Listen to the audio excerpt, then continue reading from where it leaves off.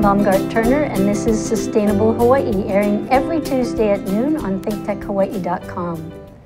For decades, scientists worldwide have known that coral reefs, which are the breadbasket for over 500 million people, are being destroyed by development, overfishing, pollution, and increased ocean temperatures. In 1998 alone, a bleaching event caused by very warm water killed more than 15% of corals worldwide. For much of the 20th century, Kaneohe Bay was used as a sewage dump. By the 1970s, a majority of the bay's reefs that once provided food for thousands of people had died. Sewage dumping was eventually curtailed, leading to a temporary recovery, but then invasive algae took over and again suffocated the reef. In 2005, the State Department of Land and Natural Resources partnered with the Nature Conservancy and the University of Hawaii to remove most of the algae from the bay. The water cleared up and patches of reef began to grow again. But in 2015, unusually high water temperatures caused widespread coral bleaching. Actually, in 2014, all around Oahu, and again in 2015, water temperatures in the bay spiked by almost 4 degrees Fahrenheit. These events set the stage for the phenomenal coral reef research being done by my guest today. I'm delighted to have back on the show again the world renowned coral biologist Dr. Ruth Gates. Dr. Gates began her studies in her native England at Newcastle University, just inland of the North Sea. For years, she studied corals also in the Caribbean Sea. Today, she leads research as the director of the University of Hawaii's Institute of Marine Biology on Coconut Island in Kaneohe Bay, where she's globally recognized for her cutting edge work on corals. She was awarded the University of Hawaii Board of Regents Medal for Excellence in Research in 2014, was honored as the 2015 ARCS Foundation Scientist of the Year, and this year was identified as Islander of the Year for Science by Honolulu Magazine. Her work is the subject of several recent documentary shows on National Geographic, the Discovery Channel, and the American Museum of Natural History. That's where I first discovered her. Dr. Gates is the elected president of the International Society for Reef Studies, which held its International Coral Reef Symposium in the United States for the very first time right here in Hawaii in June. And she's about to participate in the World Conservation Congress starting this week. Aloha. Welcome, Dr. Gates. Thank you so much for having me on the show. I'm delighted to be back. Well, I'm delighted you're always willing to partake in these opportunities to share your work with the world. Absolutely. You're, you're certainly plastered everywhere now, and we're all appreciative of it because there's always something new we're learning. Well, I, the one thing I'd like to say is that, you know, I follow my passion, I do what I love to do, and I've been lucky enough to have the opportunity to pursue a career like the one that I have here at the University of Hawaii. Well, tell us so that the viewers who haven't seen you know exactly what your work is on Coconut Island. So I'm a coral biologist. I've been one for 25 years, and um, I've studied one feature of the biology that has become particularly important um, as climate change has intensified, and that is why does one coral do better than another when they are stressed out? You know, and really, you can analogize that back to humans. When two people are faced with the same problem, often they respond very differently. And so, my group and many others around the world has been focusing on the biology that underpins those differences in the ability of individuals to perform or even individual reefs to sustain damage. Um, and we think we've identified three characteristics. It's to do with their genetics, just like with humans. It's to do with their past experience. Have they survived a stress event in the past? And it seems that if they have, it makes them better able to withstand an event in the future. This is what I love about your work instead of focusing, as many of us have in the years trying to get people to pay attention to climate change, instead of focusing on the 70% of the corals that are stressed out or dying, you're focusing on the smaller percentage that are surviving and why. Absolutely, and I think that this is a, you know, I've, I've monitored the changes on reefs in, in the, over the course of my career. I've seen reefs that I have dove on and loved be annihilated by the actions of man you can spend a lot of time documenting it and getting depressed about it. But my opinion is if we do the science for a reason, that's to better understand the system, it's, it's really an imperative for us to actually take that knowledge and move that forward and think about how that knowledge is, tells us about a feature that will be important to address as we move forward in ever more increasingly stressful conditions. And so let me just back up a little bit with that. Climate change is intensifying. The planet's getting warmer and the amount of CO2 in the atmosphere is, is increasing as we burn more fossil fuels. What that translates to in the ocean is warmer than normal seawater temperatures and a change in the chemistry of the water. That's something I learned recently. I didn't realize that the actual fossil fuels leaking in the water, yeah. as well as the That's CO2 right. they're emitting, is changing the chemistry exactly. of the ocean. That's it's dissolving incredible. into so the CO2 dissolves into the water and and it makes the, the, the water more acidic and that acidity coupled with temperature is now starting to interfere with very basic biological reactions that are critical to the maintenance of reefs. That is their ability to actually build the structure that creates the reef, that protects the land directly behind them and of course creates the home for all the things that live on reefs. And we've um, talked about on this show several times the importance of that reef as a barrier for the large wave events, the monster absolutely. waves that are eating away at our infrastructure that's so important to our economy as well. You know, this, this, this function of reefs as natural seawalls is something that actually doesn't often get much play. And, you know, we are living in a time where we're trying to react to what seem to be really urgent problems associated with sea level rise. And, you know, my perspective is if we take care of our natural seawalls, we it's a much more, That's right, it's a much more cost effective uh, solution to rising sea level. If we can make our reefs survive into the future and continue to create these big structures that protect our land, then surely that is a much more um, appropriate action than pouring an enormous amount of concrete. Absolutely. And one of the other things that I've taken in from all the different talks that you've given is that you really are about systems thinking and a systems mm. approach. Whereas most academics who are that deep into research as you are, are very stovepiped and are really focusing because it takes all their energy to do that. Somehow you've been coming out of that stovepipe and connecting the different kinds of research and the different ways in which policy can be developed using that research. You know, as an academic, as a trained academic, you are sort of forced down these stovepipes. Being an expert at something is, is really the way you get promoted through your career. I think, you know, I'm lucky enough to have gone through my career. I've done that. I've published a lot of papers in the peer reviewed literature, but I could see that I'm more comfortable in the broader conversation of I've got this knowledge, how do I combine my knowledge with the knowledge of others that may be quite different but very complementary? And then when you put all of that together, you end up with a pie that addresses a problem that we need to address as a society. And so I think that I have been lucky enough to sort of take the science forward into a more solution oriented. Our, our projects right now are focused on harnessing our basic understanding of biology to develop corals that are provisioned for the future, that we know can survive the future. We call this an area called assisted evolution. It's very controversial. Yeah, I was um, going to say when it applies to humans, people cringe. But do it, they have the same reaction when well, it applies to you know, it's so corals? funny because I think that you know often I'll discuss it and say, well, do you have a dog? And people say, yeah, I have a dog. I say, well, what type of dog do you have? Golden Retriever. I said, that's great.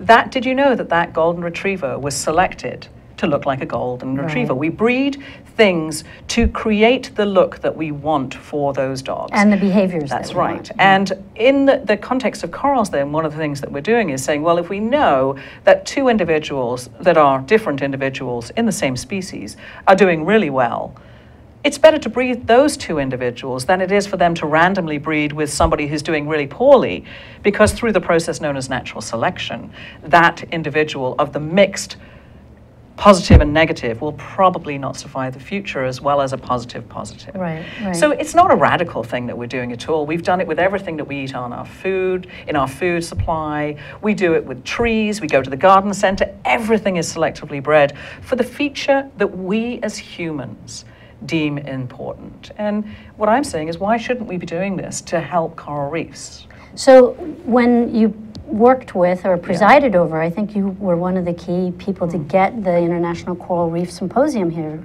correct? Yes. And so when you were involved in that, I know one of the principal goals of that symposium was to get out of the academic silos and start getting the attention of policymakers to yes. look at the science and get the academics to talk to the policymakers. That's right. Was that successful and, and what were the outcomes of that symposium? I, I, think it was very successful. And actually, I think this is a conversation that our International Coral Reef Symposium was explicitly sort of contextualized by bridging science to policy. And there was a leaders summit that brought some of our Pacific Island leaders to the table to discuss the needs of their islands and then convene it with scientists and science that could potentially meet those needs. Um, this conversation has been going on in a number of different arenas on the West Coast with the fisheries, very successful management, uh, very positive management of the fisheries. Um, I think it's what, what's happening is the problems with nature or the problems that are occurring because we've driven the planet down a pipe that is really scary with climate change. And we're now, we have this tension of developing the land and all that that means for the natural systems that are directly adjacent to them. The coral reefs are immediately adjacent to where we live. I think well, to where we live. Yes. But the problem is, is that so many in the people in the world don't live near coral reefs, so they don't have the appreciation yes. for how important the reefs are for our global ecosystem. Well, so how do we engage the people who don't have this immediate access and visibility to the reef so that they're aware that this provides basically the food source, the economic resource, yes. you know, tourism, other things well, that's that, right. are, that I mean, is maybe, crucial for all of us. I mean, maybe the most direct interaction between most people and a coral reef is, is really the drugs that are being developed from the organisms oh. that live there. And this is a, a smaller part of the picture that people don't often, we don't, we don't usually say, well, coral reefs do this for humans. They do medicines, coastal protection, food, tourist economies. We don't usually put the medicine at the top of the list, and yet, probably, if you look at the number of people affected by that particular service that the reef provides to humans, mm-hmm. it's many. Wow. Uh, very broad reaching. And so we don't really think about it that way. We often talk about the, the importance in terms of biodiversity and the maintenance of biodiversity. And I've often said to, to people, well, biodiversity doesn't actually tell people what we mean. Really, what we mean is the variety of organisms that live on the planet and, and the ecoservices right. that they provide for all that's of us. That's right. Are, do you, can you think of, give us some examples of some of the um, medicines that might come from the reef? So there's some medicines that are being developed that are for anti-cancer drugs. There's many, many, many scientists who are involved in taking small pieces of organisms off the reef and doing these ever more intense fractionations of the, the, the, the homogenate. We basically mm-hmm. smush them up in a big tube and you look and see whether that's a bioactive thing. Can, in a test, we're essentially growing cells from different cancers. You put this solution in and if it inhibits those cells growing, then you know it's an anti-cancer to that particular cancer. So how can we get folks to pay attention to that value mm-hmm in our public policy making yes. so that we translate the the incredible resource that is the evolving information about the reef because you're discovering new things every day yes. Well you know this is the sort of the field of biomimicry that if, if we understand the biology of these organisms really well we see whether they serve us in a variety of ways if the answer is yes, say with a drug, often what happens then is a pharmaceutical company will come in and will mimic the chemistry of that particular compound because you can't obviously go out and take a lot of things off the reef continually. But at that point, it sort of disconnects from the reef, and you no longer know that that compound actually oh. originated from a finding that was from a reef right. organism. So that tracing of how did we get to this end point, it's a little bit like the labeling in food. You know, people are always saying, we want to label yeah. the food, we want to know where it came from, whether it's genetically modified. It's the same kind of thing with drugs. We should know where those ideas and Absolutely. Where that, that biology was first discovered. So that is that going to is that going to take a policy change so that we require those now that would to certainly take origins? a policy change. And, um, and do you think that's feasible? I think it's very feasible. Uh, you know, another issue that has come to light very recently is the influence of sun suntan lotions on Oh, corals and the coral right, health, right. and that there are chemicals in those suntan lotions that are really poisoning corals. And because we have areas that are so heavily, heavily used by tourists, Yeah, like one of the, Bay. the things that we try and demonstrate out at Camp Mokuleia for our visitors is take your sunscreened hand. If you put it on the reef, the next day you will see the imprint of your hand right. where that reef is now, that coral is now bleached. That's right. People are astounded. They have no idea. That's right. And I think if we, if we can educate them, they won't be doing that. But how do we translate that into policy? Well, so, And you know, there's- maybe I think we need to take a break, Oh, and then we'll come back to that and say, how are we going to get this to make uh, a difference. big difference in the policy realm? We'll be right back. Hey, how you doing? Uh, welcome to Hibachi Talk. My name is Andrew Lanning. I'm your co-host, and we have a nice program here every Friday at one o'clock uh, on Think Tech Studios, where we talk about technology and we have a little bit of fun with it. So join us if you can. Thanks. Aloha. Aloha everyone, I'm Maria Mera and I'm here to invite you to my bilingual show Viva Hawaii every other Monday at 3 p.m. Um, we are here to show you news, issues, and events local and around the world. Join me. Hi, I'm Ethan Allen, host of Likeable Science on ThinkTech Hawaii. I hope you'll join me each Friday afternoon as we explore the amazing world of science. We bring on interesting guests, scientists from all walks of life, from all walks of science, to talk about the work they do, why they do it, and moreover, why it's interesting to you. What the science really means to your life, its impacts on you, how it's shaping the world around you, and why you should care about it. I do hope you'll join me every Friday at 2 p.m. for Likeable Science.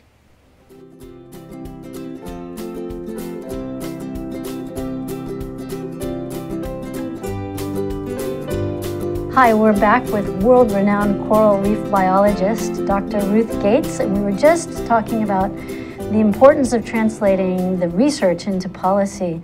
And I know that you've been working with the local legislature on some issues that we might be able to make changes in. Yes, I and many others have been sort of um, highlighting things in the water that are, are actually causing problems with corals' health. And one that has come to light very, very recently is the is suntan lotions and the chemistry, uh, the chemicals that are in suntan lotions. Which I should mention, if they're not good for corals, they're They're not definitely good not for good us. for us. That's right. Because we actually have evolved from a common ancestor of corals. So they are quite biologically similar to us. Um, so, but what's happening is, is that science is basically being masked to show that the, the reef itself is not doing well in important ways. And that knowledge is now being moved into policymakers' hands to develop new bills to move through our local legislature and I think eventually through federal um, policymakers to actually develop guidelines for how suntan lotions can be used and which ones can be used. And there's a particular set of, um, of chemicals that are really bad, and I think there's a real move to ban those chemicals. Um, What are some of those? They're oxybenzones. The- There is a particular cy- a, a cyclical group of chemicals that just appear to stop corals from reproducing. And we know that endangered species are like the canary in the coal mine. That's right. And when they start to suffer, we know that we're going to be suffering. That's right. I mean, you know, humans, we rely on other organisms. We're part of the general biodiversity. We're not special. Right. Um, things that are going wrong for other organisms will eventually go wrong for us, right? We know that our health is being influenced. There's a lot of discussion of GMO. There's a lot of discussion about how environmental pollution affects our function. There's certainly how- the know? increases in cancer and both the, the diverse number of cancer as well as the huge number of people that are coming down with it. It's, it's, it's kind of scary. Our world is a much more environmentally complex place, and a lot of that complexity is man made. It's stuff that we've developed that is now coming out into our atmosphere or being eaten by us. And, you know, one area that I think, you know, is, is so um, present for many people is plastics. You know, we get hmm. talked about talking about you know removing plastic bags, but you know plastics go into the ocean either in large or small pieces. Even if we collect them and recycle them, we're recycling them into another plastic-based product. and as you recycle, it becomes ever smaller and smaller and smaller. And now we know that microplastics are starting to appear in the internal organs of marine life. And it's only a matter of time before plastics inside our own bloodstream become an issue. Yeah, this is something actually that that's very prevalent in Hawaii. Is when you even when you're fishing and you c- catch the fish and gut it, you see a lot of microplastics. One of the things that um, I think is really important that came out of the Coral Reef Summit is the legislation you were talking about for Hawaii. But is there also this move for legislation in other coral reef centered Absolutely. countries? And are they going to be coordinating with us? Are we going to be doing sort of an international or global effort to educate one another about what the policy solutions might be? I mean, I think that the, the, the, the, fabulous thing about reefs is they are global. They are distributed uh, around the middle or the belt of the planet. And what's so great about convening international conferences like the International Coral Reef Symposium or the, the World Conservation Congress is that essentially you're bringing players together to talk about success stories or failures in attempting to preserve natural systems across the globe. And so what that enables, that level of conversation is, is a much more coordinated effort to take really lessons learned that are positive, translate them rapidly to other places, to make more of a difference across more of the planet. And that's an exciting thing in which I think science and scientists are in that conversation very actively at the moment,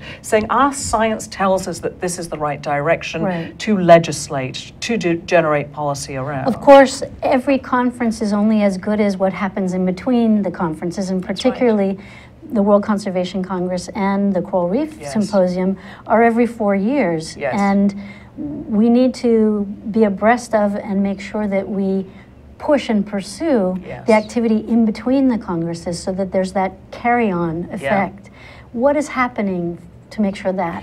Well, I mean, that I would say from my place? own perspective, from the coral reef fields within this, this sort of smaller subset the, um, of the environmental settings that we would want to protect. Um, we have an international society that is really now tasked with making sure our community advances agendas collaboratively. Okay. So we're really pushing a much more collaborative framework for our society, trying to engage specifically with our younger population of scientists who are very committed to doing something about the problems that are on the table. And of course, right they're now. socially networked like never before. Absolutely. So there's many more avenues to keep that going than we ever had as young students. And you know, as well as the social networking, there's much more technology that is being thrown at these problems than has ever been used before. You know, we have NASA coming in and funding really large scale acquisition of imagery on reefs for the first time. So using satellite That's right, imagery and sharing and that. then re- retrofitting aeroplanes with special cameras to be able to fly over large areas of reef. There's a, a big project called Coral that's been, it's a $15 million project being pushed out from, from NASA focused on coral reefs. But And I understand the coral reefs, but maybe it's just the Great Barrier Reef can actually be seen from space. Oh, absolutely. And many of the reefs in the world can be seen from space. I mean, which is an astonishing thing when you think that they're created by microscopic animals. Yeah, That have even tinier little plants living inside of them. I mean, that's an astonishing natural feat of biology that I think many people think that a coral is a rock and walk all over it thinking it's a rock because it looks like that. But actually, it's a dynamic living organism that is actually building that rock from and, within and it's an organism that's a whole world unto itself. Exactly. Because one of the things you share in one of the many documentaries I've seen about you is is that every time you peel a layer, you see layers more of living organisms that are depending on a symbiotic relationship right. all the way through. They're masters of symbiosis, and that is the just the tight interaction by two very different organisms. And you know, symbiosis as a feature for humans is critically important. We'll, we'll all have talked uh, to each other over the over the dinner table about what do we mean microbiome? What does that mean that the, the bacteria in our guts can potentially be beneficial to us? That is a symbiosis, and that symbiosis can be knocked off by a bad diet into something that makes us physically unhealthy. Same thing can happen in corals. When they change their symbionts, they can be basically transitioned into an unhealthy state. Again, exemplifying the tight linkage between the biology of humans and the biology of these rock like creatures on the reef. So, you've been working on these different new growth patches in Kaneohe Bay. I'm wondering if you're going to get to take some of the World Conservation Congress folks out to show them the work you've been doing? So we do. We are entertaining quite a number of visitors, um, high-level visitors, policymakers who are coming in to have a look at, at just the amazing resource that you know the Hawaii Institute of Marine Biology is an, a marine institute sitting on a living coral reef, one of the patch reefs. There's about 50 of those in Kaneohe Bay being able to see the coral from where I work is an astonishing thing, and having the kind of infrastructure that we have on the island to do cutting edge science, acquire new knowledge that is really purposeful about why certain reefs are doing better than others and what that means for all the other biodiversity that uses all the fish and of course the marine mammals that use our coastal waters. So astonishing place. So we're hoping to, we are definitely touring. We have two press tours going on next week that we'll be involved in. One on Coconut Island with National Geographic, another one with the state, talking about the state's plan for managing coral bleaching as we move into, unfortunately, what looks like it's going to be a third consecutive bleaching event in 2016. Wow. We are already seeing signs on the reef in Kaneohe Bay that corals are changing from their characteristic dark brown color to much lighter white. Yeah, um, we're seeing that out on Mokule'i on the reef as well. It's, awful. It's, it's really awful. So you're going to be bringing international scientists, but the press as well, out to see Absolutely. this. One of the things that's so astounding about your work in Kaneohe Bay is that you have a very accessible site in a large area for a lot of people. And we in Hawaii are smack in the middle of the Pacific that makes us very accessible, actually, despite our remoteness, yes. to all the Pacific countries that are key in this as the largest ocean and some of the biggest economies of the yeah. world. Yes. So, will you be having China and Japan and other countries? It's very, very interesting. I already am hosting Chinese scientists in my group. Um, we have, um, we are a site for Fulbright Exchange, where we're inviting um, uh, scientists from all over the world to come. My perspective is we need to be collaborating with as many people from as many places as we can as we actually advance a plan for how we're going to respond to the problems on reefs. Not just watch them, but respond. Well, this is so exciting. And in the last 30 seconds, I just would like to thank you so much for coming on again, invite you to come back again after the Congress so we can talk about what your experience was with hosting these folks from around the world and hopefully learn more about the more uh, funding, international funding, and state and federal funding that you're getting because I know you're getting much more support than ever before yes, as people realize this. Thank you yeah. so much, Kirsten. It's been a pleasure to be here delighted and wish you all the best at the World Conservation Congress. Thank you. Aloha and join us again next Tuesday on Sustainable Hawaii. Mahalo.